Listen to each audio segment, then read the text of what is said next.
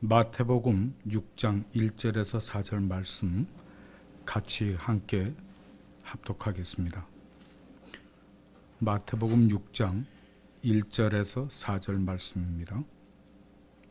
찾으신 줄 알고 다 같이 합독하겠습니다. 사람에게 보이려고 그들 앞에서 너희 의를 행치하도록 주의하라. 그렇지 아니하면 하늘에 계신 너희 아버지께 상을 얻지 못하느니라. 그러므로 구제할 때 외식하는 자가 사람에게 영광을 얻으려고 회당과 거리에서 하는 것 같이 너희 앞에 나팔을 불지 말라. 진실로 너희에게 이르노니 저희는 자기 상을 이미 받았느니라. 너는 구제할 때 오른손에 하는 것을 왼손이 모르게 하여 내 구제함이 은밀하게 하라. 은밀한 중에 보시는 너희 아버지가 갚으시리라. 아멘. 다 같이 기도드리겠습니다. 거룩하신 아버지 하나님, 부족한 종이 주님의 귀한 말씀을 대응코자 이 앞에 섰습니다. 저희 몸은 십자가 뒤로 감춰주시고 이 시간 성령께서 주관하여 주시어서 성령 충만하고 은혜 받는 시간 되게 인도하여 주시옵소서. 감사드리오며 주 예수 이름 받들어 기도드리옵나이다. 아멘.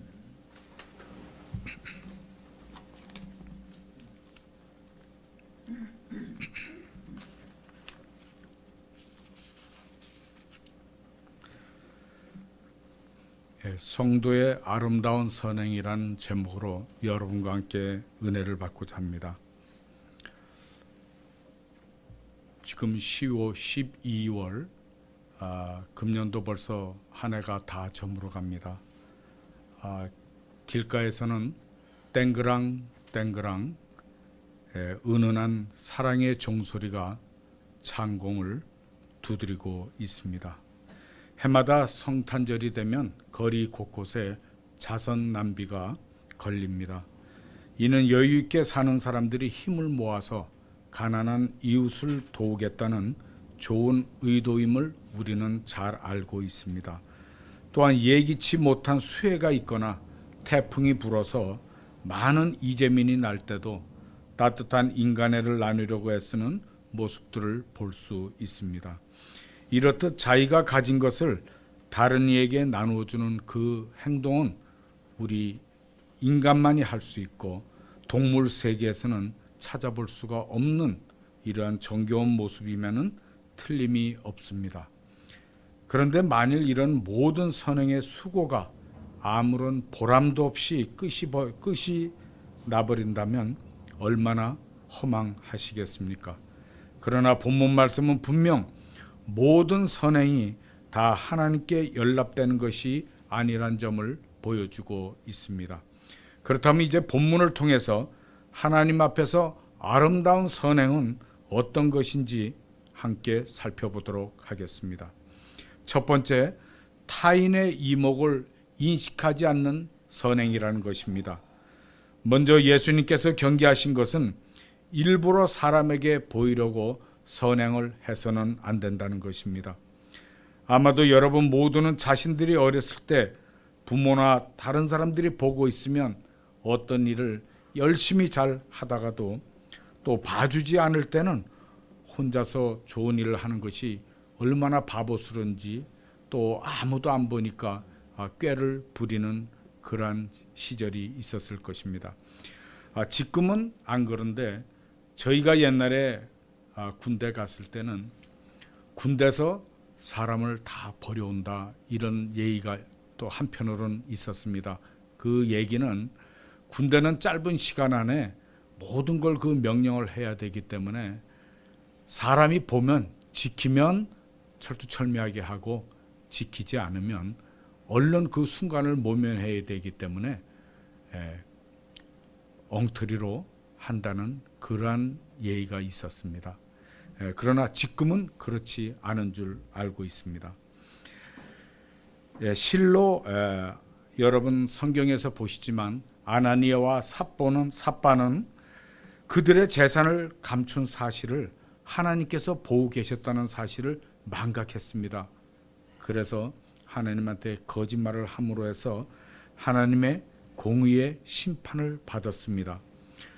그런데 남이 보는 데서 의를 행하는 것은 솔직하게 말해서 그 동기가 착한 마음에서 나왔다기보다는 자기를 과시하려는 욕심에서 나오는 것입니다. 이렇듯 자신을 과시하고 잘난 체 하는 것은 천지를 지으신 하나님 눈에는 가소로운 것밖에는 되지가 않습니다.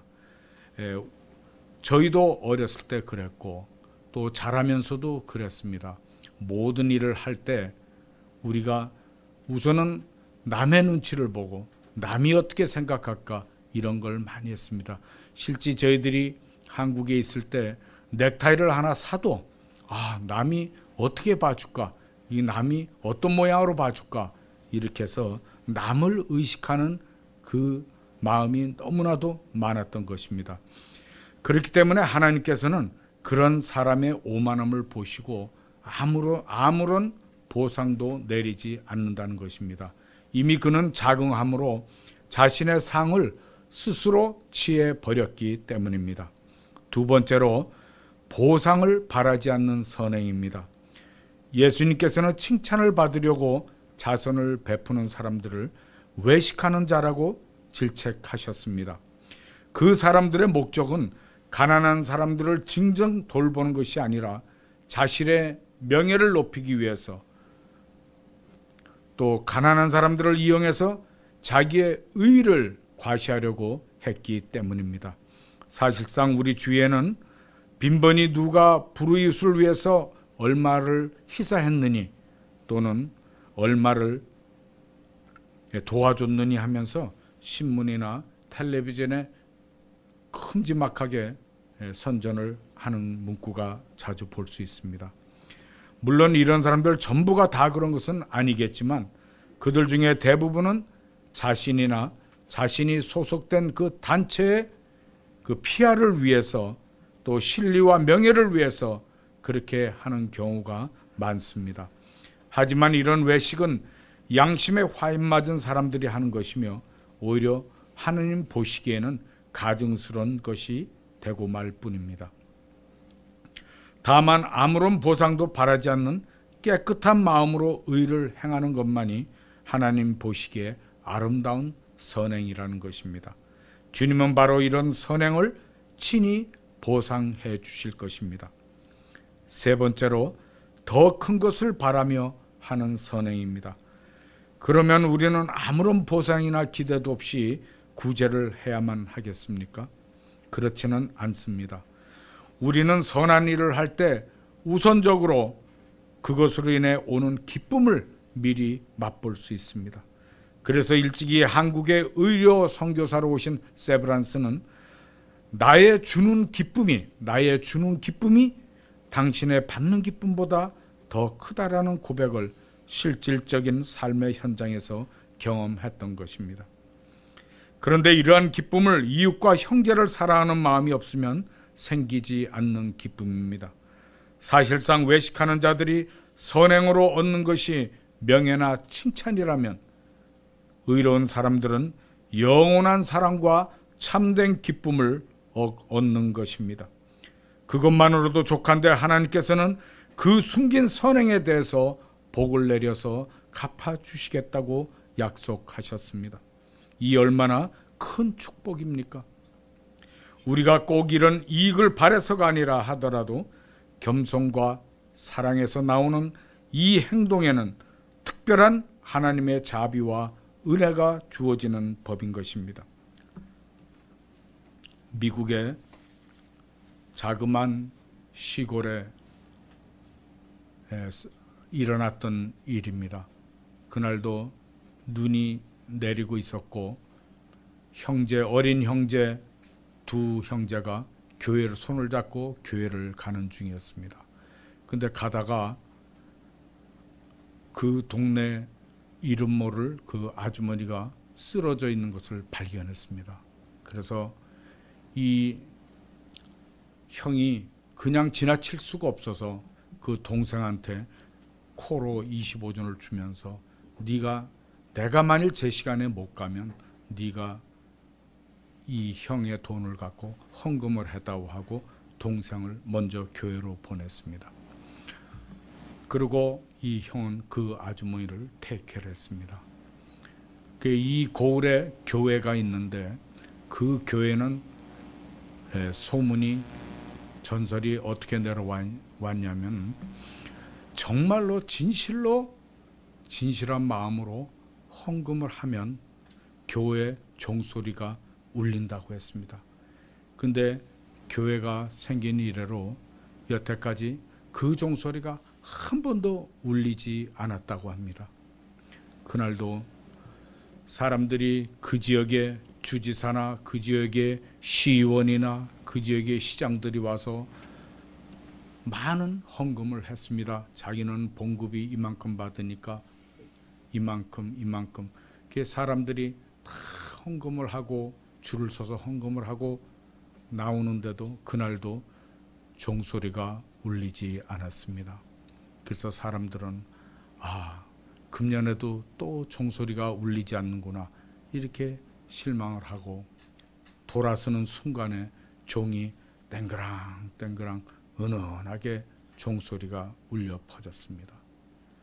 그때 그 앞을 보니까 그 나이 어린 동생이 형이 준 그 코로를 그 헌금에다가 헌금함에다가 헌금을 할 때 그때 바로 종소리가 은은하게 울려 퍼진 것입니다.